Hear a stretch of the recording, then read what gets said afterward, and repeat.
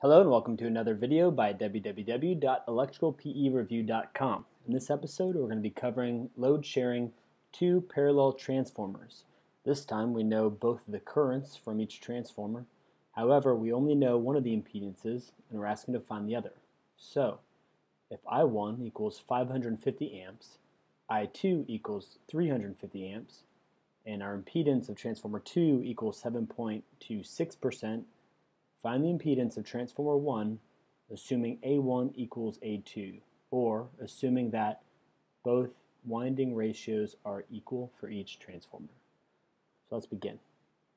We know that at this point right here, IL is going to equal I1 plus I2. We can use Ohm's law to say current is equal to voltage over impedance. And since the turns ratio are equal, our V1 is going to equal to V2, or simply put, both will equal V. So we plug that into our equation, we can say that our load current is going to equal to V over Z1 plus V over Z2. We can clean this up to be our load current equals V times Z1 plus Z2 over Z1 times Z2. Now the next thing is, since we don't know our load current, we need to find a way to set both of our impedances equal to each other using I1 and I2 since that's what we know. Now there's a couple different ways to do this, but by far the easiest way is as follows. We can rewrite this to be two slightly different equations. The first is IL equals I1 times Z1 plus Z2 over Z2 and IL equals I2 times Z1 plus Z2 over Z1. Now we can set these two right here equal to each other since they're the same equation and we can thereby eliminate our IL which we don't currently know. So we set these two equal to each other and we have I1 Z1 plus Z2 over Z2 equals I2 times Z1 plus Z2 over Z1 and since here we're solving for Z1 we're going to set this equal to Z1 and we're going to have Z1 equals I2 times Z1 plus Z2 over I1 Z1 plus Z2 times Z2. Of course, these two terms here we can eliminate. And we have Z1 is going to be equal to I2 over I1 times Z2. So let's plug in our values. We have Z2 equals 350 amps over 550 amps times, let's use the ratio, sorry, let's use the decimal value of the impedance, 0 0.0726.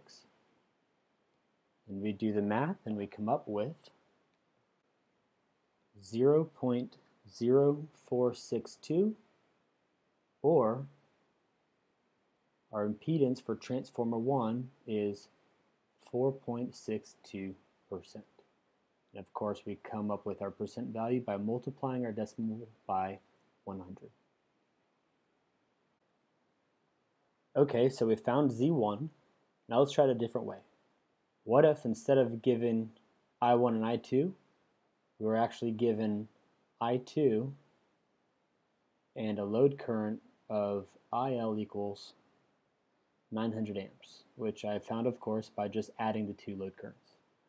So let's pretend like we don't know I1.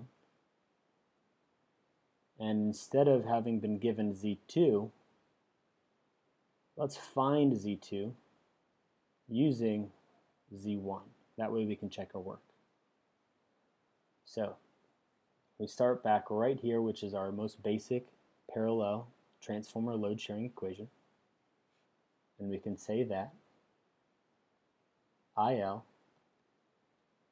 equals I2 times Z1 plus Z2 over Z1 and we can plug in our values after solving for Z2 so let's go ahead and solve for Z2 we can say that IL equals I2 Z1 plus I2 Z2 over Z1.